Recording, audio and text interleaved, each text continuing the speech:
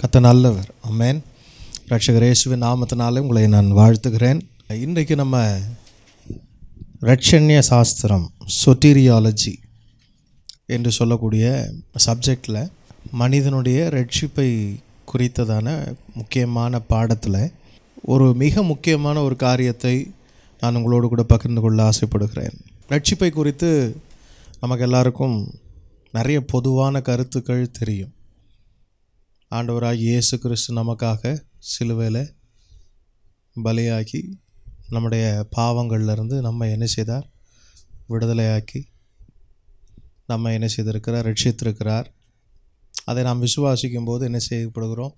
ரட்சிக்கப்படுகிறோம். இதெல்லாம் இந்த கருத்துக்கள் எல்லாம் பரிசுத்த வேதாமத்திலிருந்து ஆதி காலங்களிலிருந்தே நமக்கு சத்தியங்கள் என்ன செய்யப்பட்டிருக்கிறது? சொல்லி கொடுக்கப்பட்டிருக்கிறது. முதல் நூற்றாண்டிலிருந்தே இரண்டு விதமான கொள்கைகள் இந்த ரட்சிப்பை குறித்து ஓடிக்கொண்டே இருக்கிறது. திருச்சபையின் உயிர் நாடியாக இந்த ரெண்டு விதமான கருத்தும் ஒன்றுக்கொன்று முரண்பாடாக தெரிந்தாலும் ஒன்றை ஒன்றை எதிர்த்து கொண்டே போவது போல தெரிந்தாலும் இந்த இரண்டு கருத்துக்களிலும் இருக்கிற சில உண்மைகள் வேதாமத்திலிருந்து ரட்சிப்புக்கு ஜீவநாடியாக ரட்சிப்பை குறித்து நாம் அறிகிற சத்தியங்களுக்கு மூல காரணமாக இருந்திருக்கிறது. இந்த ரெண்டு காரியத்தை குறித்து நான் உங்களுக்கு சொல்ல விரும்புகிறேன். முதல் முதல்ல அகஸ்டின் என்று சொல்லக்கூடிய ஒரு தேவ மனிதன் ஒரு கருத்தை சொன்னார். அது என்ன அப்படின்னு கேட்டிங்கன்னா மோனர்ஜிசம் என்று சொல்லக்கூடிய ஒன்று. ரட்சிப்பில் தேவன் மாத்திரமே செயல்படுகிறார். தேவனுடைய பங்கு பிரதானம். அல்லது தேவனுடைய பங்கு மாத்திரமே மனிதனை ரட்சிக்கிறது. அகஸ்டின் சொன்ன அந்த கருத்துக்கு பெலாகியஸ் என்று சொல்லக்கூடிய பிரிட்டிஷ் மாங்க் அவர் வந்து எதிர்த்து சொன்னார் ரெட்ஷிப்பில் தேவனுடைய பங்கும் மனிதனுடைய பங்களிப்பும் இருக்கிறது. ரெட்ஷிப்பில் தேவனுடைய செயல்பாடும் மனிதனுடைய பங்களிப்பும் இருக்கிறது. மனிதன் தேவனுடைய ரட்சிப்புக்கு தன்னை ஒப்பு கொடுத்து விசுவாசிப்பது மனிதனுடைய பங்களிப்பு அப்படின்னு சொன்னார். இதற்கு பேர் சினர்ஜிசம் முதல்ல சொன்னது மோனர்ஜியசம் இது சினர்ஜிசம் மோனர்ஜிசம் என்பது தேவன் மாத்திரமே செயல்படுகிறார். சினர்ஜிசம் என்பது நான் தேவனோடு இணைந்து ரட்சிப்பில் என்னுடைய பங்களிப்பையும் என்ன செய்கிறேன் கொடுக்கிறேன் என்பது. இப்போ நம்ம ரட்சணிய சாஸ்திரம் படிக்க போகிறோம் இதில் எதுதான் உண்மை? இது இந்த போராட்டம் அப்படியே போச்சு. ஆயிரத்தி ஐநூறில் மார்ட்டின் லூத்தர் திருச்சபை சீர்திருத்தத்தை கொண்டு வந்தார். திருச்சபை சீர்திருத்தத்தை மார்ட்டின் லூத்தர் கொண்டு வந்த அதே காலத்தில் சீர்திருத்த தலைவர்களில் மிக முக்கியமான நபராக உருவெடுத்தவர் வந்தவர் ஜான் கால்வின். ஜான் கால்வின் ஒரு மிகப்பெரிய சீர்திருத்தவாதி ஃப்ரெஞ்சு ரெஃபார்மர். ஆயிரத்தி ஐநூற்றி ஒன்பதுலேருந்து ஆயிரத்தி ஐநூற்றி அறுபத்தி நான்கு வரை வாழ்ந்தவர். இவர் பார்த்திங்கன்னா இந்த மோனர்ஜிசமை சப்போர்ட் பண்ணுற ஒரு மிக முக்கியமான ஒரு நபர். ரட்சிப்பில் மனிதனுடைய பங்களிப்பு இல்லை. தேவன் மாத்திரமே அங்கே செயல்படுகிறார். தேவனுடைய கிருபை அளவற்ற கிருபை செயல்படுகிறது அப்படின்னு சொல்லி ஜான் கேல்வின் வந்து ரட்சிப்பை குறித்த அந்த ஒரு பக்கம் தான் அது செயல்படுகிறது. அது தேவன் நமக்கு என்ன செய்திருக்கிறார்? தன்னுடைய அளவற்ற கிருபையினால் நமக்கு கொடுத்திருக்கிறார். தேவன் நம்மை இந்த ரட்சிப்பை கொடுக்கறதற்கான நபர்களை உலக தோற்றத்துக்கு முன்னே என்ன செய்தார்? தெரிந்து கொண்டார். ஆகவே மனிதனுடைய பங்களிப்பு இதில் ஒன்றுமே கிடையாது அப்படின்னு சொல்லி அவர் பிரசங்கிக்க ஆரம்பித்தார். அவருடைய உடனடி சீடருடைய ஸ்டூடெண்ட் ஜோசப் ஆர்மெனஸ் என்று சொல்லக்கூடிய ஒரு நபர். அவர் என்ன செஞ்சார்? ஆயிரத்தி ஐநூற்றி அறுபதுகளில் பிறந்தவர். இவர் சொன்னார் கால்வினிசத்தில் எல்லாமே கரெக்டு கிடையாது. ரட்சிப்பில் தேவன் மனிதனை முன்குறிக்கவில்லை. தேவன் முன் அறிவினாலே என்ன செய்தார்? மனிதனை முன்குறித்தார். முன் அறிவு என்பது யார் ரட்சிப்புக்கு செவி கொடுப்பான்? யார் இயேசு கிறிஸ்துவின் சிலுவை மரணத்திற்கு சுவிசேஷத்திற்கு தன்னுடைய இருதயத்தை திறந்து கொடுக்கிறார்களோ அவர்களை தேவன் என்ன செய்து வைத்திருந்தார்? முன்குறித்திருந்தார்.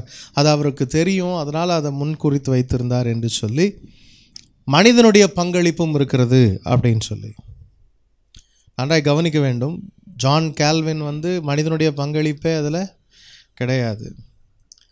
ஜோசப் ஆர்மினஸ் அவர் என்ன சொன்னார்னா மனிதனுடைய பங்களிப்பு அதில் இருக்கிறது. அப்படின்னு சொன்னார். இப்போது இந்த ரெண்டு கூட்டம் தான் இன்றைக்கு வரைக்கும் இருக்குது இப்போ இந்த ரெண்டு கூட்டத்தில் ஏதோ ஒரு கூட்டம் தான் நீங்களும் நானும். அல்லது இந்த ரெண்டு கூட்டத்தையும் சேர்த்த ஒரு புது கூட்டம் நம்ம. அப்படி இருக்க தான் முடியும். இந்த ரெண்டு தாட்டும் ஆதி காலங்கள்ல இருந்தே ஒன்றோடு ஒன்று முட்டிக்கொண்டே என்ன செய்கிறது? வருகிறது. ஜான் கால்வின் அவருடைய உபதேசத்தை பின்பற்றுகிறவர்கள் கால்வனிஸ்ட் அப்படின்னு சொல்லுவாங்க. கால்வனிஸ்ட் அப்படின்னு சொன்னால் அந்த கொள்கைகளை என்ன செய்கிறவர்கள்? பின்பற்றுகிறவர்கள். இந்த கால்வினுடைய கொள்கைகளை பின்பற்றுகிற மிகப்பெரிய பிரசங்கியார்கள் உலகத்தில் இருந்திருக்கிறார்கள். இன்னும் சொல்லப்போனால் சிஹெச் ஸ்பர்ஜன் பிரசங்கிகளின் வேந்தன் என்று சொல்லக்கூடிய C H Spurgeon George Muller Charles Finney போன்ற பலர் கால்வினிஸ்ட் தான். கால்வின் கொள்கைகளை இன்னும் மேம்படுத்தியவர்கள் என்று கூட சொல்லலாம். அதே நேரத்தில் ஆர்மினிசம் இதை வந்து அதிகமாக முன்னெடுத்து பெரிய வெற்றியை கண்டவர் முதல்ல யார் அப்படின்னு கேட்டிங்கன்னா ஜான் வெஸ்லி ஜோனத்தன் எட்வர்ட்ஸ். கடந்த நூற்றாண்டுகளில் பில்லி கிரஹாம். இன்னும் சொல்லப்போனால் இப்போதைக்கு இருக்கிற பெண்டிகாஸ்டல்ஸ். இவர்கள் எல்லாரும் ஆர்மீனியசத்தை பேசுகிறவர்கள். ஜான் கால்வினுடைய கொள்கைகளை பேசுகிறவர்கள் அது ஒரு குரூப் ஒரு கூட்டம். இவாஞ்சலிக்கல் ரிவைவல் மிஷினரி ஒர்க் இதெல்லாம் யார் மூலமாக அதிகமாக நடந்துச்சு அப்படின்னா ஆர்மீனியசத்தை சப்போர்ட் பண்ணவங்க மூலமாக தான் நடந்துச்சு. ஏன்றதை நான் உங்களுக்கு சொல்ல விரும்புகிறேன். கால்வினிசத்தினுடைய ஐந்து முக்கியமான கொள்கைகள் இருக்கிறது. ஐந்து முக்கியமான கொள்கைகளை நான் உங்களுக்கு சொல்ல விரும்புகிறேன். இந்த கால்வினிசத்துடைய ஐந்து முக்கியமான கொள்கைகள் என்ன அப்படின்னு கேட்டிங்கன்னா அதை டியூலிப் அப்படின்னு சொல்லுவாங்க. டியூஎல்ஐபி அவங்களுடைய அந்த டியூலிப்பினுடைய விளக்கம் என்ன? டியூஎல்ஐபி முதல் காரியம் டி டோட்டல் டிப்ராவிட்டி முழுமையான இயலாமை. மனிதனுடைய முழுமையான இயலாமை. ரட்சிக்கப்படுவதற்கு மனிதனால் முடியாது. ஏனென்றால் எபேசி ரெண்டு ஒன்றில் சொல்லுகிறது அக்கிரமங்களினாலும் பாவங்களினாலும் மறித்தவர்களாயிருந்த நம்மை அவர் உயிர்ப்பித்தார். அப்போ மனிதனுடைய நிலை வந்து மரணம். மரணம் என்கிற நிலையில் இருக்கிற ஒருவனை உயிர்ப்பிக்கப்படுதல் என்கிற அந்த ஸ்தானத்துக்கு கொண்டு வருவதற்கு தேவனே என்ன செய்கிறார்? கிரியை செய்கிறார். அப்போ இதில் யாருடைய பார்ட்டே கிடையாது? மனிதனுடைய பார்ட்டே கிடையாது ரெட்ஷிப்பில். கரெக்டு தானே? அதில் வந்து தேவனுடைய பார்ட் மட்டும்தான் என்ன செய்கிறது? இருக்கிறது. ஏனென்றால் அவன் அக்கிரமங்களிலும் பாவங்களிலும் எப்படி இருக்கிறான்? மறித்தவனாய் இருக்கிறான்.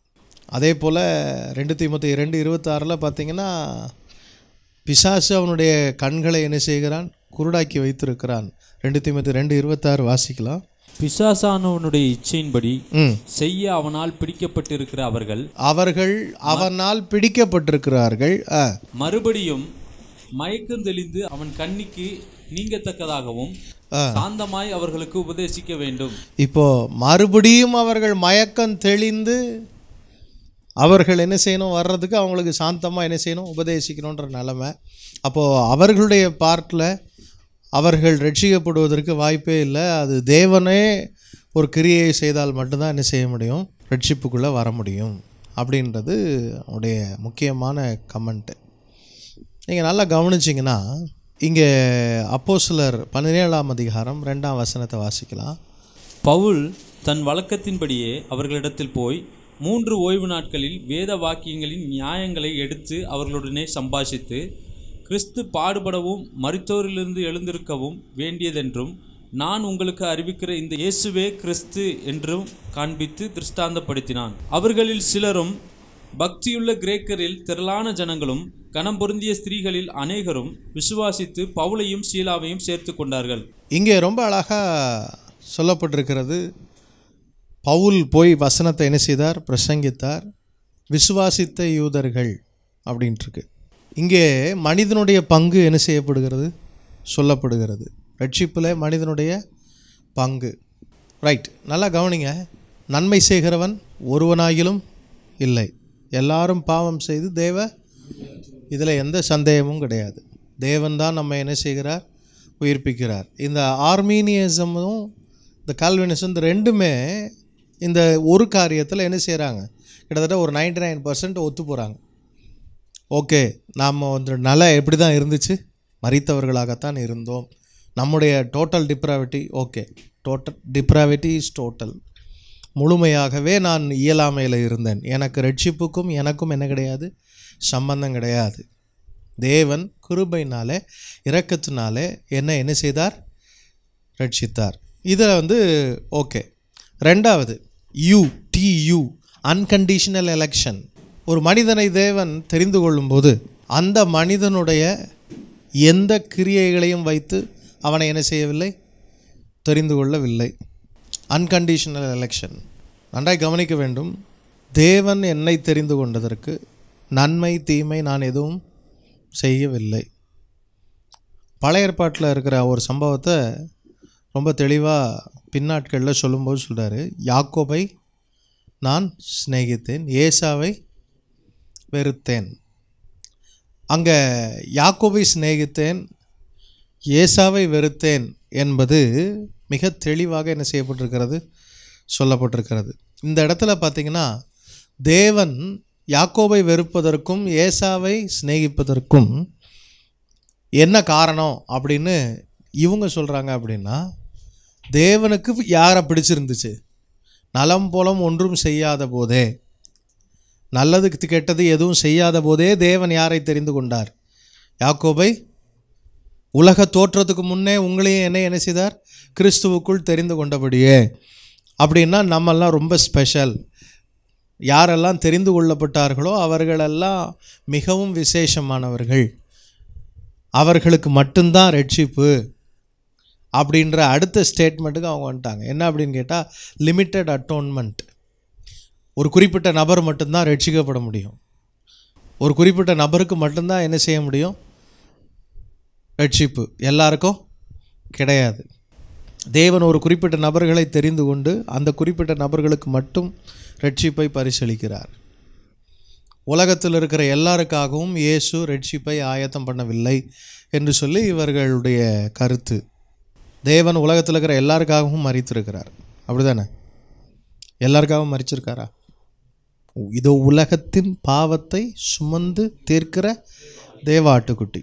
எல்லாருக்காகவும் இயேசு மறித்தார் என்பது உண்மை. ஆனாலும் எல்லாரும் ரட்சிக்கப்பட முடியாது. அந்த ரட்சிப்பு யாருடையதாய் மாறுகிறது? யார் இயேசுவை விசுவாசிக்கிறார்களோ அவர்களுக்கு தான் அந்த ரட்சிப்பு என்ன செய்கிறது? பயன்படுகிறது. ஆனால் ரட்சிப்பு எல்லாருக்கும் என்ன செய்யப்பட்டிருக்கிறது? ஆயத்தமாக்கப்பட்டிருக்கிறது. இவங்க கேல்வினிஸ்ட் என்ன சொன்னாங்கன்னா ரட்சிப்பு எல்லாருக்கும் ஆயத்தமாக்கப்பட்டதல்ல. ஒரு குறிப்பிட்ட மக்களுக்கு தெரிந்து கொள்ளப்பட்டவர்களுக்கு மட்டுமே. ஆமாம் இவருடைய வேத வசனத்தின்படி பார்த்திங்கன்னா இட் இஸ் லிமிட்டட் அட்டோன்மெண்ட் ஒரு குறிப்பிட்ட நபர்களுக்காக தம்மை விசுவாசிக்கிறவர்களுக்காக இயேசு ஆயத்தம் பண்ணினது அப்படின்னு சொல்லி அது வந்து ஒரு குறிப்பிட்ட நபர்களுக்காகன்னு சப்போர்ட்டுக்கு வசனம்லாம் கரெக்டாக சொல்லுவாங்க. இப்போ நான் கேல்வினிசம் ஆர்மினிசம் நான் ரெண்டில் எதை சப்போர்ட்டுக்கு வசனம் கொடுத்தாலும் ஆமாம் ஆமாம் வசனம் இருக்குது அப்படின்னு நீங்கள் என்ன செய்வீங்க? ரெண்டுக்கும் நீங்கள் ஆ கரெக்டு தான் ரெண்டும் கரெக்டு தான் அப்படி தான் சொல்லுவீங்க. இப்போ நான் ரெண்டுமே தப்புன்னு சொல்ல வரல. ரெண்டுமே முழுசாக ரைட்டுன்னும் சொல்ல வரல. இப்போ என்னது தான் சொல்ல வர்றீங்க? அப்படின்னு நீங்கள் கேட்குறது எனக்கு புரியுது. நான் சொல்கிறத நல்லா கவனிச்சுட்டே வாங்க. அடுத்தது அது டி முதல்ல சொன்னேன் டோட்டல் டிப்ராவிட்டி ரெண்டாவது யூ அன்கண்டிஷ்னல் எலெக்ஷன் மூணாவது limited atonement L I irresistible grace தேவனே ஒரு மனிதனை ரட்சிப்புக்குள் இழுத்து கொள்ளுகிறார். என் பிதா ஒருவனை இழுத்து கொள்ளாவிட்டால் ஒருவனும் என்னிடத்தில் வரான். பிதா ஒருவனை இழுத்து கொள்ளும்போது எந்த நபராலும் அதை தடுக்க முடியாது. அவன் அதை மீற முடியாது அப்படின்னு கால்வினிசம் சொல்லுகிறது. அவங்களுடைய எக்ஸாம்பிள் வந்து பவுலை தேவன் சந்தித்த போது பவுலால் அதை என்ன செய்ய முடியல? எதிர்க்க முடியவில்லை. பேதுருவை இயேசு அழைத்த போது அவனால் அதை என்ன செய்ய முடியல? எதிர்க்க முடியவில்லை. ஆர்மினிசம் என்ன சொல்கிறாங்க அப்படின்னா ஒரு மனிதன் நினச்சா எதிர்க்க முடியும். உனக்கு உண்டானதை எல்லாவற்றையும் விற்று தரித்தனுக்கு கொடு பின்பு என்னை பின்பற்றி வா அப்படின்னு சொன்ன ஐஸ்வர்யவான் என்ன செய்யலை? இயேசுவை பின்பற்றி வரவில்லை. எல்லாரும் இயேசுவை பின்பற்றினார்களா? அப்படின்னு கேட்டால் இல்லை. இர்ரெசிஸ்டபிள் கிரேஸ் தடுக்க முடியாத கிருவை அதை யாராலும் கண்ட்ரோல் பண்ண முடியாது. உன் ரட்சிப்பை உன்னால் தடுக்கவே முடியாது. நீ பரிசுத்தமாகிறத உன்னால் தடுக்கவே முடியாது. நீ வந்து பரலோகம் போகிறத யாராலும் தடுக்க முடியாது. இது வந்து அவங்களுடைய கொள்கை. அடுத்தது பார்த்தீங்கன்னா பெர்சிவரன்ஸ் ஆஃப் த செயின்ஸ் ஒரு முறை தேவன் ஒரு மனிதனை தெரிந்து கொண்டு தன்னுடைய கிருபையினால் இழுத்து கொண்டு விட்டார் என்றால் அவன் அவனுடைய ரட்சிப்பை இழந்து போகவே முடியாது. அவனுக்கு மறுபடியும் நியாய தீர்ப்பு வருவதில்லை இட்டர்னல் செக்யூரிட்டின்னு சொல்லுவாங்க. நித்திய பாதுகாப்பு. கிறிஸ்துவுக்குள் நீங்களும் நானும் எப்பொழுதும் பாதுகாக்கப்படுகிறோம். நம்முடைய ரட்சிப்பை நாம் இழந்து போக முடியாது. நீங்கள் பாவம் செஞ்சாலும் என்ன செய்ய முடியாது? இழந்து போக முடியாது. இப்போ இதுக்கெல்லாம் வசன ஆதாரம் இருக்கா அப்படின்னா இருக்கிறது. இப்போது கால்வினிஸ் சொன்னதை நான் உங்களுக்கு சொன்னேன்.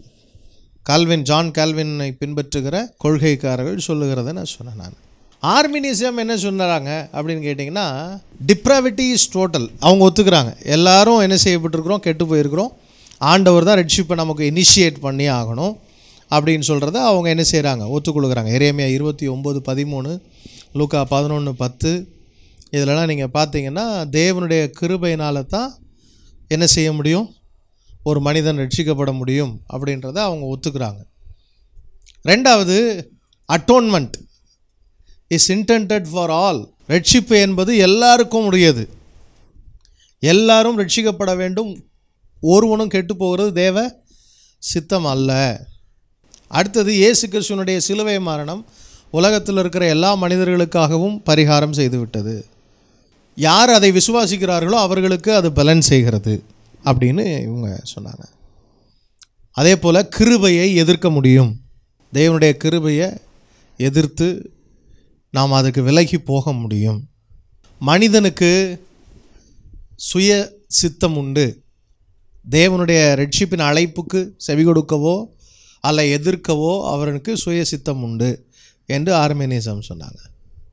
அதே போல் தெரிந்து கொள்ளப்பட்ட அந்த எலெக்ஷன் அது கண்டிஷனல் யார் ரட்சிப்புக்கு செவி கொடுத்து அந்த ரட்சிப்பு நிறைவேற பிரயாசப்படுகிறார்களோ அவர்களுக்குத்தான் அந்த ரட்சிப்பு என்ன செய்யும்? பலன் கொடுக்கும். நான் இன்றைக்கு உங்களோடு கூட கொஞ்சம் நேரம் இந்த வசனங்களில் இருக்கிற முக்கியமான காரியங்களை நான் பகிர்ந்து கொள்ள போகிறேன். இட்டர்னல் செக்யூரிட்டி இஸ் கண்டிஷனல் நம்முடைய ரட்சிப்பு பூர்ணப்படுவது என்பது சில நிபந்தனைகளின் அடிப்படையில் அவை நமக்கு என்ன செய்யப்படுகிறது? கொடுக்கப்பட்டிருக்கிறது. அந்த நிபந்தனைகளை நாம் மீறுவோம் என்றால் நம்மால் அந்த ரட்சிப்பை என்ன செய்ய முடியாது? பாதுகாக்க முடியாது. ரைட் இப்போது வேதம் என்ன சொல்லுகிறது? நாம் எதை விசுவாசிக்க வேண்டும்? வேதம் என்ன சொல்லுகிறது? என்று நான் உங்களோடு கூட பகிர்ந்து கொள்ள ஆசைப்படுகிறேன். முதல் காரியம் மனிதனுடைய இருதயம் எப்படிப்பட்டது நாம் எப்படிப்பட்டவர்களாக இருக்கிறோம் ஆவிக்குரிய வாழ்க்கையில் என்று வேதம் தெளிவாய் நமக்கு எபேசிய ரெண்டு ஒன்றில் சொல்லுகிறது. அதற்கப்புறம் பார்த்தீங்கன்னா அக்கிரமங்களிலும் பாவங்களிலும் மறித்த நிலைமையில் நாம் இருந்தோம்.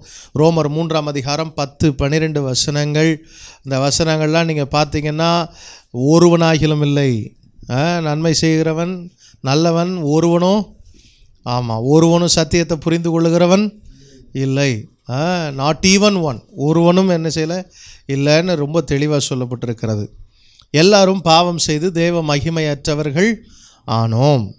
இறைமையா பதினேழு ஒம்போதில் இருதயம் எல்லாவற்றிலும் மகா திருக்குள்ளதும் கேடு உள்ளதுமா இருக்குது அப்படின்றத ரொம்ப அழகாக அங்கே இறைமையாக சொல்லுகிறார்.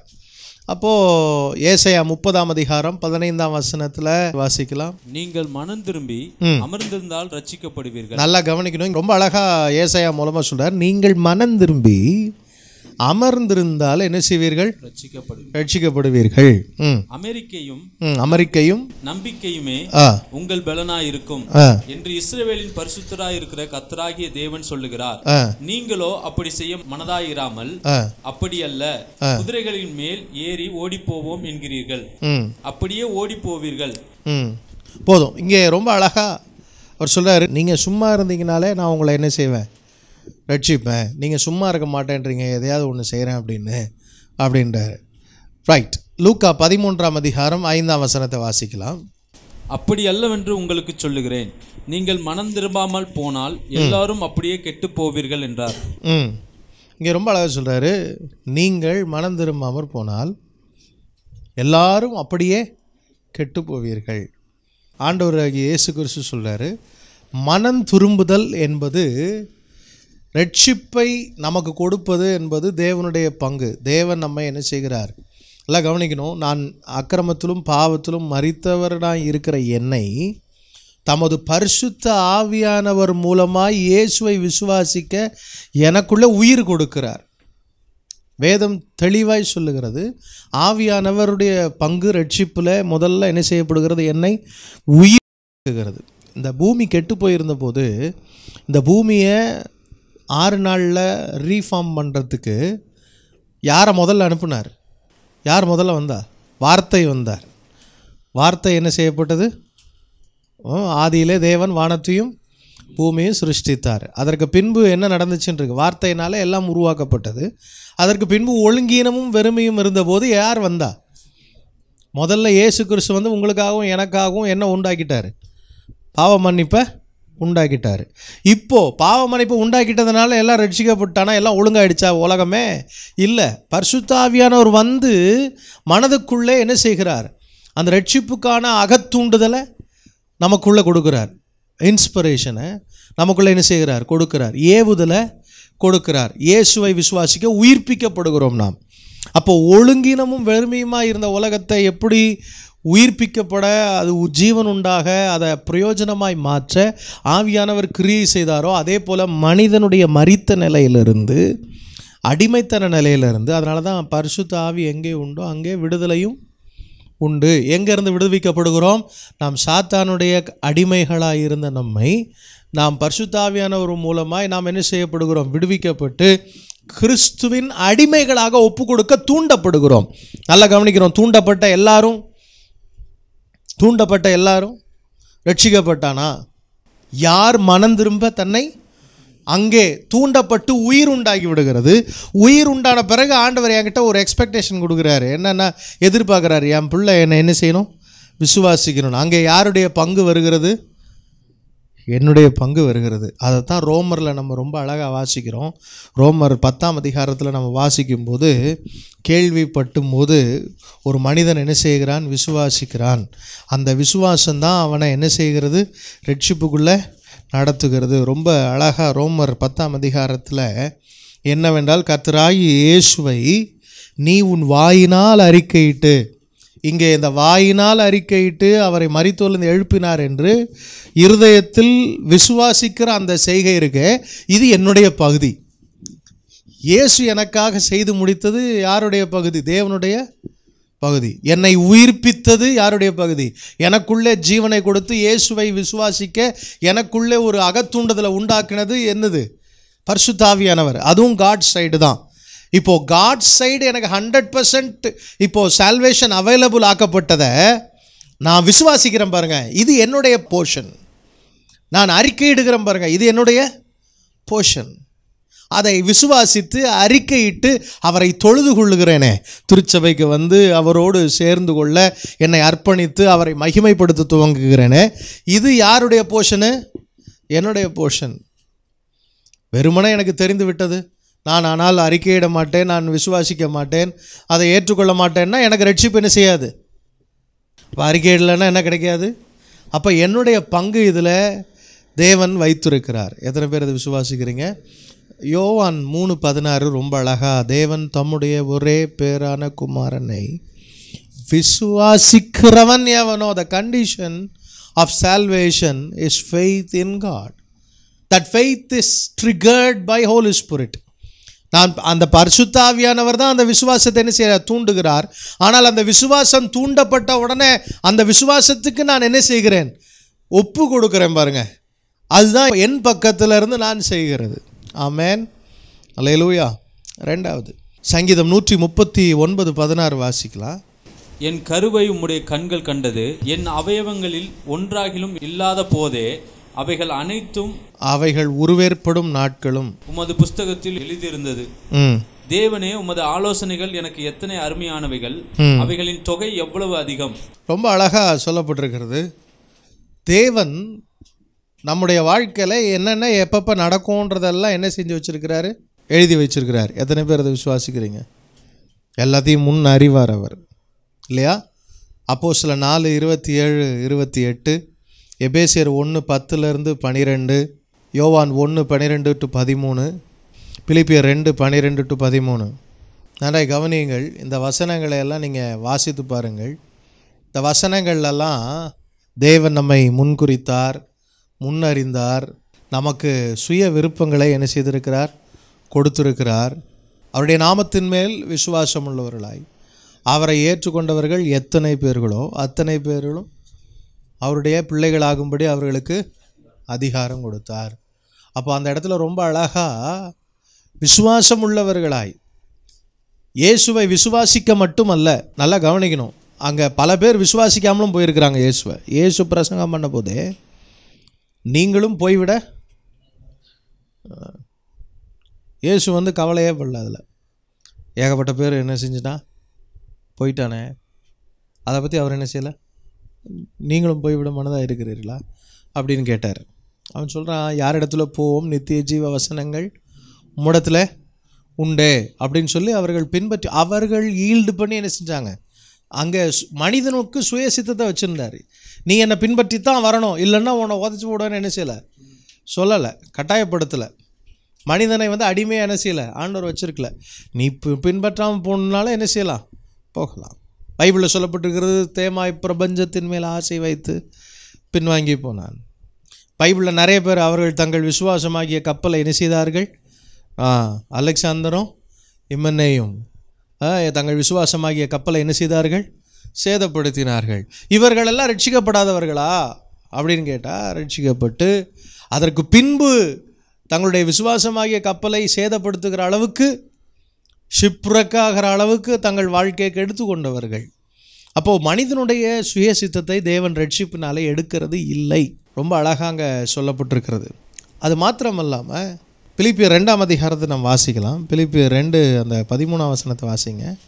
ஏனெனில் தேவனே தம்முடைய தயவுள்ள சித்தத்தின்படி விருப்பத்தையும் செய்கையையும் உங்களில் உண்டாக்குகிறவராயிருக்கிறார். ஆ, இந்த பனிரெண்டாம் வசனத்தை வாசிக்கலாம். ஆதலால் எனக்கு பிரியமானவர்களே. நீங்கள் எப்பொழுதும் கீழ்ப்படுகிறபடியே நான் உங்களுக்கு சமீபமாய் இருக்கும் பொழுது மாத்திரமல்ல நான் தூரமாய் இருக்கிற இப்பொழுதும் அதிக பயத்தோடும் நடுக்கத்தோடும் உங்கள் ரட்சிப்பு நிறைவேற பிரயாச பவுல் தெளிவாக சொல்றாரு உங்க ஒர்க் அவுட் யோர் சால்வேஷன் அப்படின்றாரு.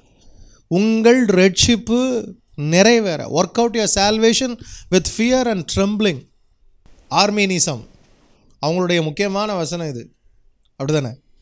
நீங்கள் செயல்படணும் அப்படின்றது. அடுத்த வசனத்தை நீங்கள் பார்த்தீங்கன்னா ஏனெனில் தேவனே தம்முடைய தயவுள்ள சித்தத்தின்படி விருப்பத்தையும் செய்கையும் உங்களில் உண்டாக்குகிறவராக இருக்கிறார். கால்வினிசத்தினுடைய மிக முக்கியமான வசனம் இது. அப்போ ரெண்டும் எங்கே இருக்குது ரெண்டும் ஒரே பகுதியில் இருக்குது இப்போ இவங்க ரெண்டு பேரும் என்ன பண்ணியிருக்கிறாங்க? இவர் ஒரு வசனத்தை பிடிச்சிட்டு இருக்கிறாரு அவர் ஒரு வசனத்தை பிடிச்சிட்டு இருக்கிறாரு. சில இடங்களில் நம்ம வந்து துருபதேசம்னு ஒரு வசனத்தை பிடிச்சி இங்கே துருபதேசனும் அடுத்த வசனத்தை பிடிச்சிட்டு அவர் நம்மளை என்ன செய்வார்? இப்போ என்னதான் தான் பிரதர் நீங்கள் சொல்ல வரீங்க அப்படின்னா தேவன் நூற்றுக்கு நூறு எனக்கு ரட்சிப்பை என்ன செய்கிறார்? கொடுக்குறார். அதே நேரத்தில் இப்போ ரட்சிப்பு என்பது எனக்கு கொடுக்கப்பட்ட அந்தஸ்து. ரட்சிப்பு என்பது தேவன் எனக்கு கொடுத்துருக்கிற மிகப்பெரிய அந்தஸ்து. ரட்சிப்பு நிறைவேற நான் பிரயாசப்படுதல் என்பது அந்த நான் பெற்ற அந்த மிகப்பெரிய அந்தஸ்தில் நான் நடப்பது. அந்தஸ்தில் நான் செயல்படுவது. இப்போ எனக்கு ஒரு போஸ்டிங் திடீர்னு கொடுக்குறாங்க. என்னென்னு? எனக்கு திடீர்னு சீஃப் மினிஸ்டர் போஸ்டிங் கொடுத்துட்றாங்கன்னு வச்சுக்கோ. இப்போ போட்டியே அதுக்கு தான். வச்சுக்கோ. உங்களுக்கெல்லாம் அந்த ஆசைலாம் வராதா? வரும் எல்லாருக்கும். சீஃப் மினிஸ்டர் போஸ்டிங் திடீர்னு கொடுத்துட்டாங்க. தமிழக மக்கள் எல்லாம் சேர்ந்து பாஸ்டர் ஜேம்ஸரோட என்ன ஆகிடுவோம் சீஃப் மினிஸ்டர் ஆகிடுவோம் இப்போ நான் சீஃப் மினிஸ்டர் ஆக்கப்பட்ட பிறகு அது it's a status it is not just a status it is a status with responsibility இப்போ எனக்கு ஒரு பெரிய அந்தஸ்து கிடச்சிருச்சு. நான் சீஃப் மினிஸ்டர் ஆன பிறகும் அரியலூர்லேயே உட்காந்துக்கிட்டு நான் இங்கேயே தான் என்ன செய்வேன்? பிரசங்கம் பண்ணி டீச் பண்ணிக்கிட்டு இருப்பேன். நான் வந்து கவர்மெண்ட்டெல்லாம் போய் பார்க்க முடியாது. அங்கே போய் கையெழுத்துலாம் அதெல்லாம் போட முடியாது அப்படின்னு சொன்னால் நான் சீஃப் மினிஸ்டராக என்ன செய்ய முடியாது? செயல்படாத சீஃப் மினிஸ்டர் செயல்படாத அரசாங்கம் அப்படின்னு ஆயிரும். ஜனங்கள்லாம் தவிக்க ஆரம்பிச்சிருவாங்க. இது எப்படியோ அதே போல் ரட்சிப்பு என்பது எனக்கு கொடுக்கப்பட்டிருக்கிற மிகப்பெரிய பொறுப்பும் அந்தஸ்தும். அந்த அந்தஸ்தை இப்போ நான் பெற்றுக்கொண்டேன் நான் பெற்றுக்கொண்டேன் அதை நான் பெற்றுக்கொண்டேன் அது நான் எந்த செயல்பாட்டையும் செய்ய தேவையில்லைன்னு இல்லை. அதற்கு நான் என்ன செய்யணும்? Walking worthy of my calling என் எனக்கு கொடுக்கப்பட்ட அழைப்புக்கு நான் எப்படி நடந்து கொள்ளணும்? பாத்திரவான்களாய் தேவனனை நீதிமானாய் மாற்றி இருக்கிறார் தேவனனை நீதிமானாய் மாற்றிவிட்டதுனால இனி நான் நீதிமானுக்குரிய கிரியைகளை என்ன செய்ய விரும்புகிறேன்? செய்ய விரும்புகிறேன். I just want to act as a righteous person நான் நீதிமானாய் என்ன செய்ய விரும்புகிறேன்? நடிக்க அல்ல நடக்க விரும்புகிறேன். இங்கே நம்ம நம்ம வந்து நம்ம நீதிமான நடித்தா போதும் நீங்கள் நினச்சிடக்கூடாது. ஆக்டிங் அப்படின்னு சொன்னாலே நம்ம ஆக்ஷன்ற வேர்டு தான் அது கரெக்டான வேர்டு ஆக்ட் அப்படின்னு சொன்னால் நான் நடக்க விரும்புகிறேன். I want to walk worthy of my calling இதுதான் ரொம்ப முக்கியம். இந்த வசனத்தில் ரொம்ப அழகாக அதுதான் சொல்லப்பட்டிருக்கிறது. நீங்கள் எங்கே நீங்கள் வசனத்தில் வாசித்தாலும் எபேசியர் ரெண்டாம் அதிகாரம் எட்டு ஒன்பது வசனங்கள் எல்லாம் நம்ம என்ன செய்வோம்? ரெண்டு எட்டு ஒன்பதில் விசுவாசத்தினாலே நாம் என்ன செய்யப்பட்டிருக்கோம்? எடுத்து வாசிங்க. கிருபையினாலே கிருபையினாலே விசுவாசத்தை கொண்டு ரட்சிக்கப்பட்டீர்கள். ரட்சிக்கப்பட்டீர்கள். இது உங்களால் உண்டானது இது உங்களால் உண்டானது அல்ல. இது தேவனுடைய ஈவு. கிஃப்ட் ஃப்ரம் காட் ஒருவரும் பெருமை பாராட்டாதபடிக்கு இது கிரிகளினால் உண்டானதல்ல. இது கிரியைகளினால் என் ரட்சிப்பு உண்டாகவில்லை. நூற்றுக்கு நூறு இதனை விசுவாசிக்கிறீங்களா இல்லையா? நானும் விசுவாசிக்கிறேன். எனக்கு கொடுக்கப்பட்ட ரட்சிப்பு என்னுடைய கிரியையினால் என்ன செய்யவில்லை? உண்டாகவில்லை அடுத்த வசனத்தை வாசிங்க. பத்து. ஏனெனில் ஏனெனில் நற்கிரியைகளை செய்கிறதற்கு நல்லா கவனிக்கணும். நான் நற்கிரியை செய்ததினால் ரட்சிக்கப்படவில்லை. நான் ரட்சிக்கப்பட்டது நற்கிரியைகளை செய்கிறதற்கு. இந்த வசனத்தை நம்ம ஆளுங்க விட்டுருவாங்க.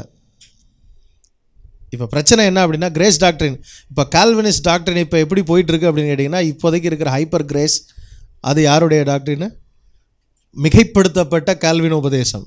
கால்வின் உபதேசத்தை மிகைப்படுத்தி விட்டால் நீ என்ன பாவம் செய்தாலும் சரி என்ன வாழ்க்கை வாழ்ந்தாலும் சரி நீ ஒரு முறை ரட்சிக்கப்பட்டு விட்டால் நீ முழுவதும் ரட்சிக்கப்பட்டு விட்டாய். நீ எந்த கிரியையும் பரிசுத்தமாகலாம் செய்யணும்னு அவசியம் கிடையாது. நீ இருக்கிறபடியே வாழு. எங்கே இயேசுவை மட்டும் விசுவாசி. எங்கே வந்து சேர்ந்துடலாம்? இதுதான் மிகைப்படுத்தப்பட்ட கால்வினிஸ் டாக்டரின். இது ஏன் தப்புன்னு நான் சொல்ல வர்றேன். பைபிளில் எங்கேயுமே அந்த கால்வினிஸ்டுடைய அந்த முழுமையான உபதேசமோ அல்லது ஆர்மீனியசத்தோட முழு உபதேசமோ என்ன செய்யப்படல? இல்லை. இது ரெண்டுக்கும் அப்பாற்பட்ட வேத உபதேசம் ஒன்று இருக்கிறது. நம்ம அந்த வேத உபதேசத்தை அந்த முழுமையான உபதேசத்தை மறந்து விட்டோம். இன்றைய தலைமுறை இந்த ரெண்டுக்கும் மேலே வேதத்தை ரொம்ப அழகாக நம்ம புரிந்து கொள்ள வேண்டும். நல்லா கவனிக்கணும். நான் நற்கிரியை செய்ததினால் ரட்சிக்கப்படவில்லை. நான் ரட்சிக்கப்பட்டதினால் நற்கிரியைகளை செய்ய என்ன செய்யப்பட்டிருக்கிறேன்? ஃபார்ம் பண்ணப்பட்டுட்டேன் இப்போ. இப்போ நான் நற்கிரியைகளை செஞ்சால் தான் என்னுடைய ரட்சிப்பு கரெக்டாக என்ன செய்யப்பட்டிருக்குது? பூரணமாக்கப்படுகிறது. நான் என்னுடைய டிசைனில் இருக்கிறேன்னு அர்த்தம். இல்லைன்னா நான் என்ன எந்த டிசைனில் இல்லை? தேவனுடைய காட்ஸ் டிசைனில் அதான் யோவான்னு சொல்கிறாரு தேவனால் பிறந்த எவனும் பாவம் செய்ய மாட்டான். பாவம் செய்கிறவன் பிசாசினால் உண்டானவன். அங்கே முடிச்சிட்டார் ஒரேடியாக ரட்சிப்பையே க்ளோஸ் பண்ணி முடிச்சிடுறாரு அவர். அந்த இடத்துல டோட்டல் கட்டே கொடுத்துட்றாரு. முடிஞ்சு போச்சுடா உனக்கு சீன் அப்படின்னு. யோசிச்சு பாருங்க அப்போ. ஏன்பா இப்படிலாம் போட்டு என்ன தான் சொல்ல வர்றீங்க அப்படின்றீங்களா? நான் ரட்சிக்கப்பட்டதற்கு என்னுடைய கிரியை ரட்சிக்கப்படுகிறதற்கு என்னுடைய கிரியை தேவையில்லை. நான் இயேசு கிறிஸ்துவை முதல் முதலாக நான் விசுவாசிக்க போடும்போது நான் பரிசுத்தமாக வாழ்ந்துட்டு வர்றேன்னு வரல. நான் பாவியாக தான் வந்தேன். நூற்றுக்கு நூறு பாவியாக இருந்தேன். செத்து போயிருந்தேன்.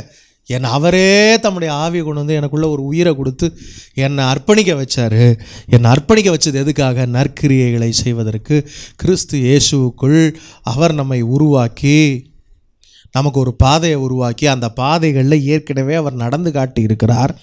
அந்த பாதைகளில் நம்ம பின் செல்லத்தான் கர்த்தர் நம்ம என்ன செய்திருக்கிறார்? அழைத்திருக்கிறார். இப்போ இந்த வசனங்களை நம்ம மனசில் நல்லா வச்சுக்கணும். ஏன்னா நீங்கள் வந்து ஏமாந்துடக்கூடாது. எங்கே போய் ஏமாந்துடக்கூடாது இந்த மாதிரி உபதேச கோளாறுகளில் மாட்டி என்ன செய்யக்கூடாது? சிக்கி என்ன செஞ்சிடக்கூடாது? சீரழிஞ்சிடக்கூடாது. அதுக்காக தான் இதை தெளிவாக உட்காந்து இந்த ரெண்டு உபதேசமும் எப்படி வந்துச்சு?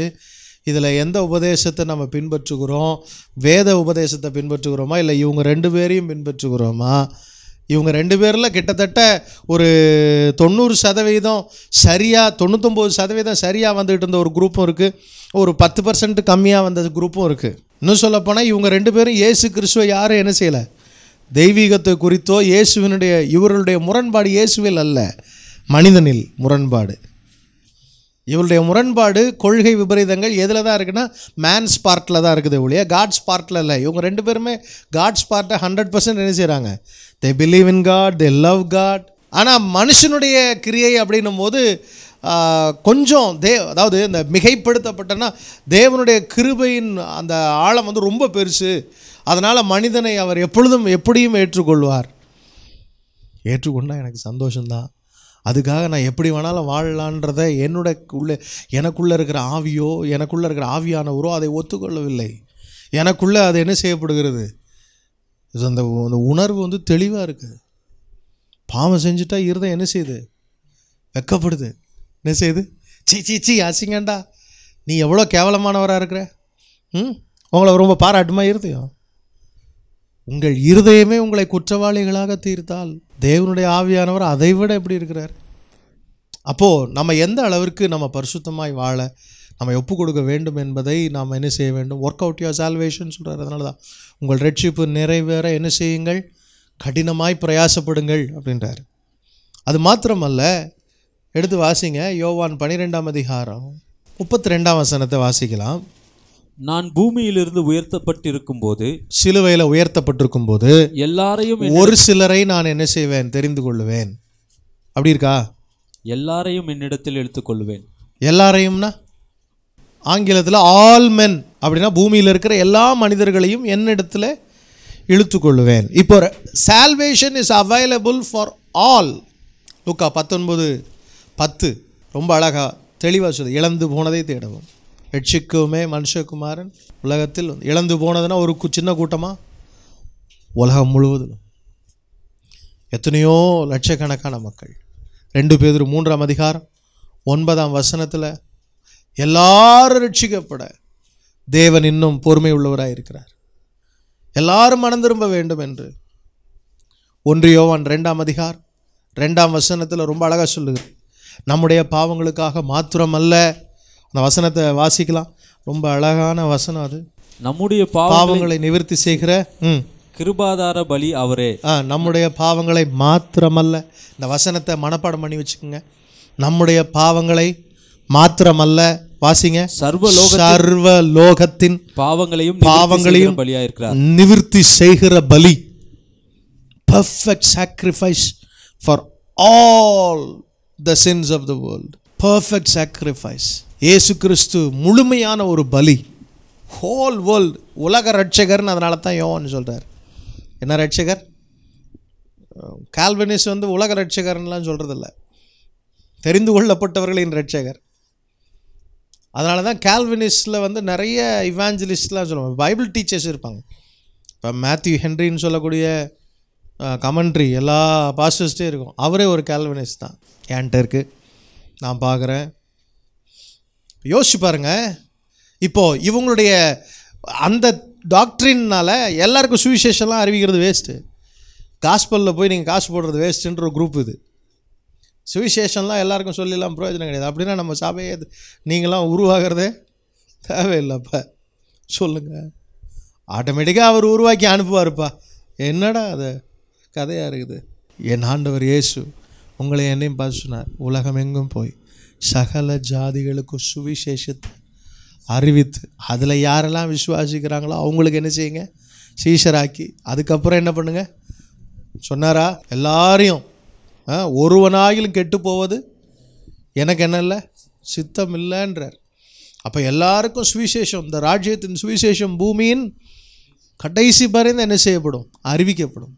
அப்போது அந்த நோக்கத்தை எல்லாம் அது இந்த உபதேசம் என்ன செய்கிறது? தடுக்கிறது.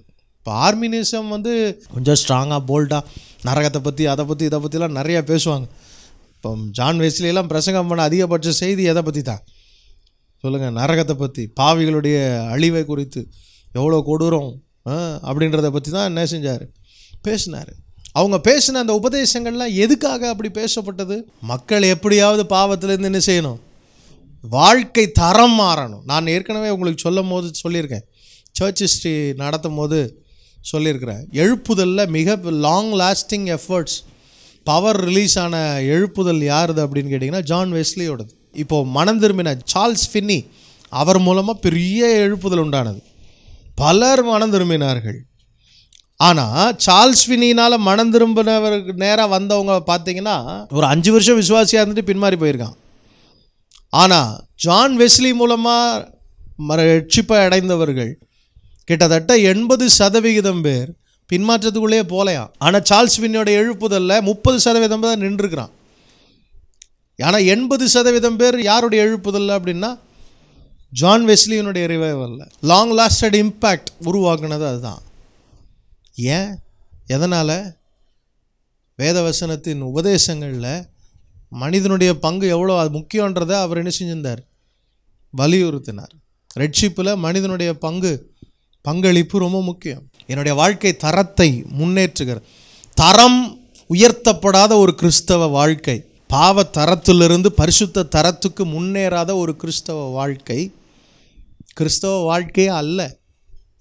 இயேசுவினுடைய பிரசங்கமே மனம் திரும்புங்கள் பரலோகராஜ்யம் சமீபித்திருக்கிறது என்பது தானே ஒழிய நான் உங்களுக்காக எல்லாத்தையும் செஞ்சு முடிச்சுட்டேன் சிலுவையில். அப்படியே நீங்கள் மனம் திரும்பாமல் என்ன செய்யுங்க? என்னை மட்டும் நோக்கி பாருங்க அப்படின்றதில்ல. என்னை நோக்கி பாருங்கள் என்பதல்ல இயேசுவின் பிரசங்கம். இயேசுவின் பிரசங்கம் என்னது? மனம் திரும்புங்கள் பரலோக எப்படி இருக்கிறது?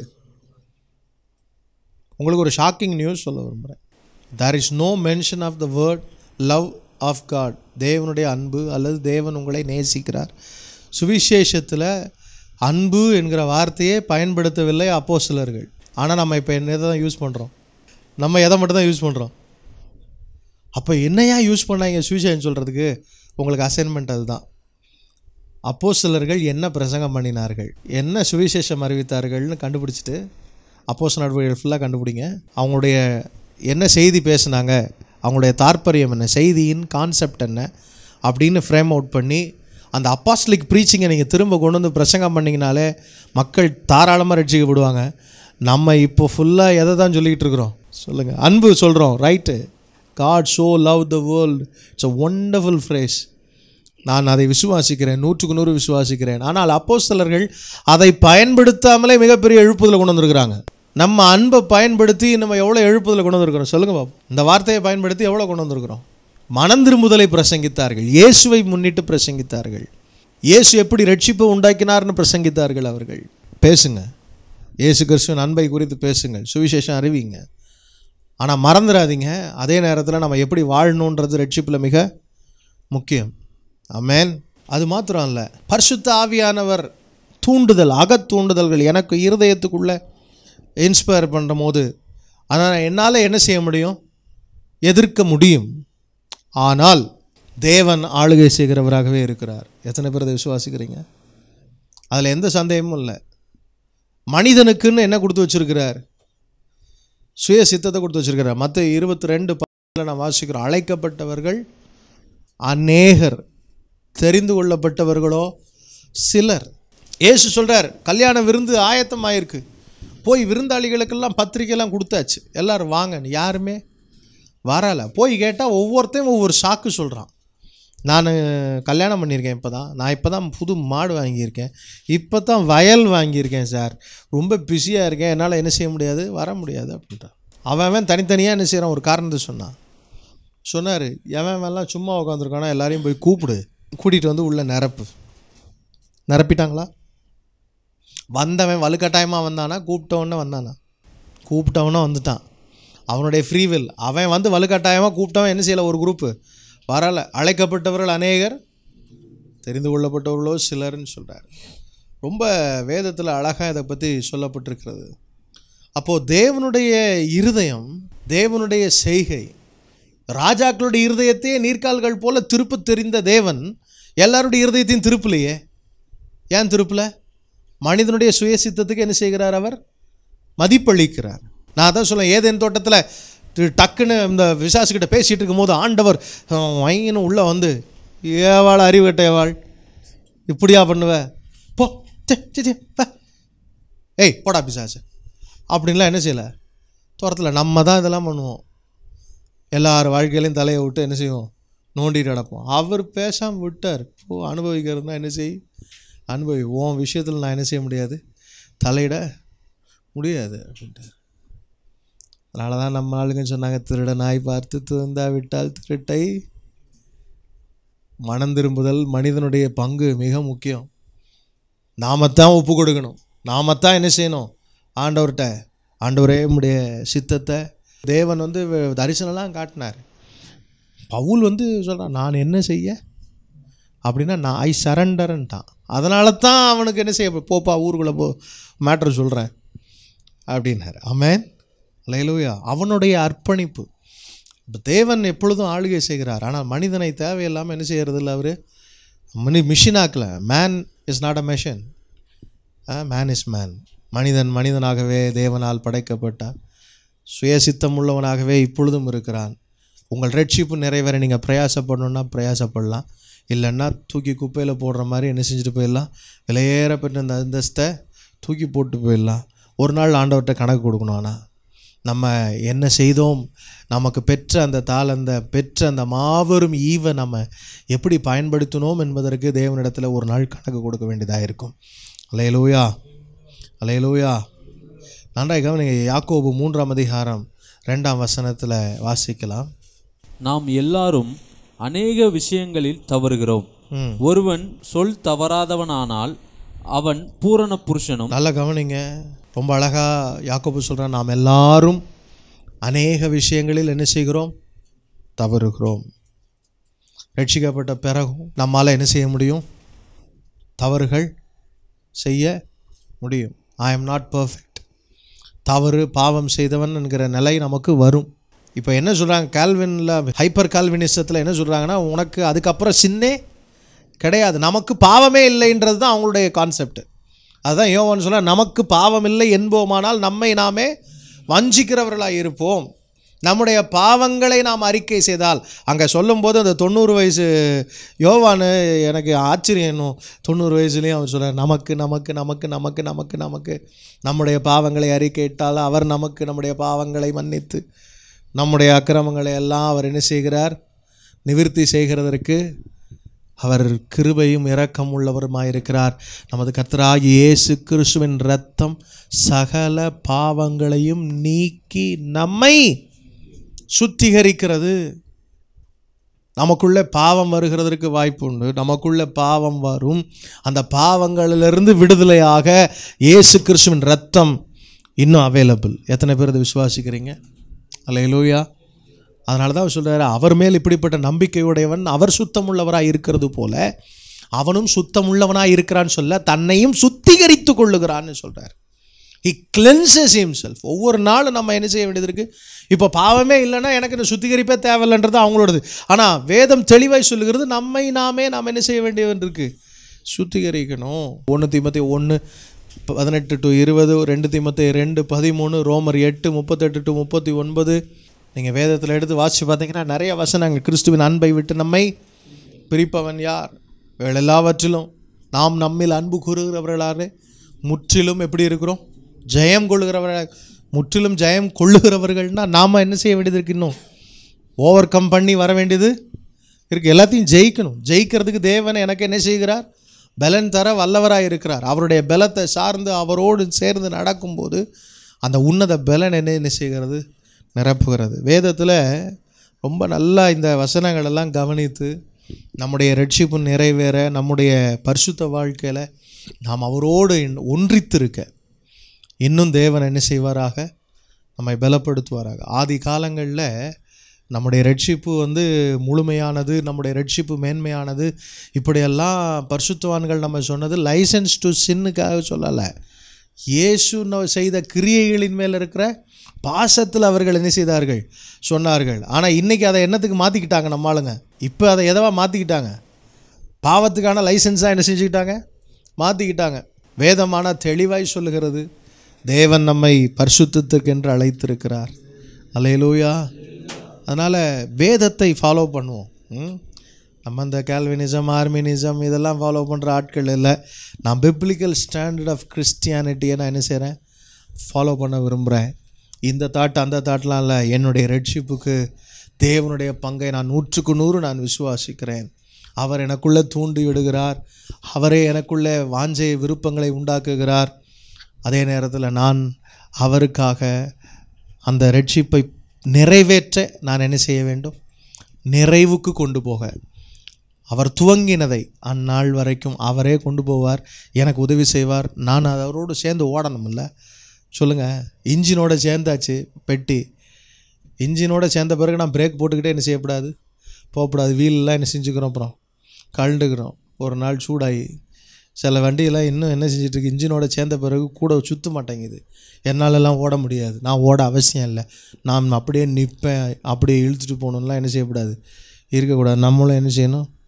ஓடணும். அவரோடு சேர்ந்து ஓட. அவருடைய அடிச்சுவடுகளை பின்பற்றி நடக்க கத்தர் நம்மை அழைத்திருக்கிறார். அலையலோயா நம் கண்களை மூடி ஆண்டவரை நோக்கி பார்க்க போகிறோம். நான் சொன்ன கொடுத்த காரியங்கள் உங்களுக்கு புரிந்திருக்கும் என்று நான் விசுவாசிக்கிறேன். இந்த உலகம் பலவிதமான உபதேசங்களில் தேவனை அறிய முயற்சி செய்கிறது. நம் வேதத்தின் அடிப்படையில் இந்த காரியங்களை ஆராய்ச்சி செஞ்சு பார்க்கும்போது ரெண்டு பேருடைய முயற்சிகளும் அருமையான முயற்சிகள் தான். ஆனால் hundred percent up to the mark வேதத்துக்கு நெருங்கி வர நம்ம இன்னும் வேதத்தை நேசிக்க கத்த நமக்கு உதவி செய்வாராக. உங்கள் கண்கள் வேதத்தின் சத்தியங்களை ஆழமாய் நோக்கி பார்த்து தேவன் நமக்கு கொடுத்துருக்கிற இந்த உன்னத ரட்சிப்பை புரிந்து கொள்ள கத்தர் பலப்படுத்துவாராக. பிதாவே நம்ம நன்றியோடு துதிக்கிறோம். இந்த நாளில் எங்களுடைய ஆண்டவரே இந்த பாடத்தை நீங்கள் ஆசீர்வதித்ததுக்காக நன்றி. நீங்கள் எழுப்பின பரிசுத்தவான்களுக்காக நன்றி சொல்லுகிறோம். அவர்கள் மூலமாக உங்கள் அன்பை நீங்கள் எந்த அளவுக்கு எங்களை நேசிக்கிறீங்க அப்படின்றத நாங்கள் அறிந்து கொள்ள நீங்கள் கொடுத்த தயவுக்காக நன்றி. அதே போல் நீங்கள் எங்ககிட்ட என்ன எதிர்பார்க்குறீங்கன்றத நாங்கள் வேதத்தின் அடிப்படையில் புரிந்து அதை செயல்படுத்த எங்களுக்கு உதவி செய்யும். உங்கள் சித்தத்தை நிறைவேற்ற எங்களுக்கு உதவி செய்யும். உங்கள் சித்தத்தை செய்கிறவனே நிலைத்திருப்பான் என்று வேதத்தில் வாசிக்கிறோமே. ஆண்டவரே நாங்கள் ஒரு நாள் உங்கள் சித்தத்தை விட்டு விலகி போகாதபடிக்கு இருக்க கர்த்தர் எங்களை பலப்படுத்தும் பாதுகாத்து கொள்ளும் பரிசுத்தப்படுத்தும் நிலை நிறுத்தும். இயேசுவின் நாமத்தில் ஜெபிக்கிறோம் நல்ல பிதாவே. ஆமே பிரைஸ் லாட் நல்லா இருக்கீங்களா? ஆண்டவர் இயேசுவின் நாமத்தினால உங்களை வாழ்த்துகிறோம். நீங்கள் கேட்ட பாடல்கள் செய்திகள் உங்களுக்கு பிரயோஜனமாக இருந்திருக்கும் என்று நாங்கள் விசுவாசிக்கிறோம். கர்த்தர் உங்களை தொடர்ந்து ஆசிர்வதிப்பாராக. எங்களுடைய ஊழியங்களுக்காக நீங்கள் ஜெபித்துக் கொள்ளுங்கள். விசேஷமாக ஒருவேளை இது வரைக்கும் சப்ஸ்கிரைப் பண்ணலன்னா அந்த சேனலை சப்ஸ்கிரைப் பண்ணுங்கள் இந்த செய்திகள் உங்களுக்கு ஆவிக்குரிய வாழ்க்கைக்கு பிரயோஜனமாக இருக்கும் உங்கள் நண்பர்களுக்கும் அறிமுகப்படுத்துங்க. எங்களுடைய ஊழியங்களுக்காக தொடர்ந்து ஜோம் பண்ணுங்க. இப்போ இடிமுழக்க மக்கள் வேதாம பயிற்சி பள்ளி thunder theological institute residential course இங்கே பார்த்தீங்கன்னா கிட்டத்தட்ட ஒவ்வொரு வருடமும் முப்பதுக்கும் மேற்பட்ட மாணவர்கள் இங்கே படிக்கிறாங்க. அவர்களுக்கு கல்வி உறைவிடம் அவருடைய உணவு எல்லாம் இலவசமாக நாங்கள் நடத்துகிறோம். அது மாத்திரமல்ல நீங்கள் பைபிள் காலேஜ் படிக்கணும். ஆஸ் அ பிலீவர் நீங்கள் பைபிள் காலேஜ் படிக்கணும்னு நீங்கள் விரும்புனீங்கன்னா கரஸ்பாண்டன்ஸ் கோர்ஸ் இருக்கிறது. நீங்கள் அதில் சேர்ந்து நீங்கள் படிக்கலாம். உங்களுடைய சாட்சிகளை எங்களோடு பகிர்ந்து கொள்ளுங்கள். அதை எங்களை இன்னும் உற்சாகப்படுத்தும் பலப்படுத்தும். உங்கள் ஜெபங்களில் எங்களுக்காக தொடர்ந்து ஜெபித்துக் கொள்ளுங்கள். கர்த்தர் உங்களையும் உங்கள் குடும்பத்தையும் உங்கள் ஊழியங்களையும் தேவன் அளவில்லாமல் ஆசீர்வதிப்பாராக. காட் யூ ரகசிய வருகை எதற்காக? ரகசிய வருகையின் போது என்ன நடக்கும்? சபை நியாயம் தீர்க்கப்படுமா? அந்தி கிறிஸ்து யார்? அந்தி கிறிஸ்துவின் ஆவி ஆயிரம் வருட அரசாட்சி உண்மையா? பரலோகம் எப்படிப்பட்டது? சாத்தானின் முடிவு என்ன? இந்த கடைசி கால சம்பவங்கள் அடங்கிய விரிவான செய்திகளை கொண்ட புத்தகம் தமது சிறு வயது முதல் தரிசனங்களினாலும் சொப்பனங்களினாலும் தேவன் காண்பித்த சத்தியங்களை வேதத்தின் அடிப்படையில் கற்றுக்கொண்டு போதகர் ஜேம்ஸ் எட்வர்ட் அவர்களால் எழுதப்பட்டுள்ளது. இந்த புத்தகத்தை வாங்கி கடைசி கால சத்தியங்களை அறிந்து பயனடையுங்கள். நமது இடிமுழக்க வேதாகம கல்லூரியானது தேவன் கொடுத்த மிகப்பெரிய தரிசனத்தினாலும் ஆண்டவராகிய கிறிஸ்துவின் கிருபையினாலும் பரிசுத்த ஆவியானவரின் வழிநடத்துதலோடும் ரெண்டாயிரத்தி பதினாறாம் ஆண்டிலிருந்து போதகர் ஜேம்ஸ் எட்வர்ட் அவர்களால் நடத்தப்பட்டு வருகிறது. இங்கு கடைசி கால எழுப்புதலுக்காக திறப்பிலே நிற்கும் தரமுள்ள ஊழியர்களை உருவாக்குவதே இதன் நோக்கமாக கொண்டிருக்கிறது. மாணவர்களுக்கு உணவு மற்றும் தங்குமிடம் அனைத்தும் இலவசமாக வழங்கி வருகிறது. இங்கு பிடிஹெச் மூன்றரை வருடங்களும் எம்டியூ இரண்டு வருடங்களும் கற்றுத்தரப்படுகிறது.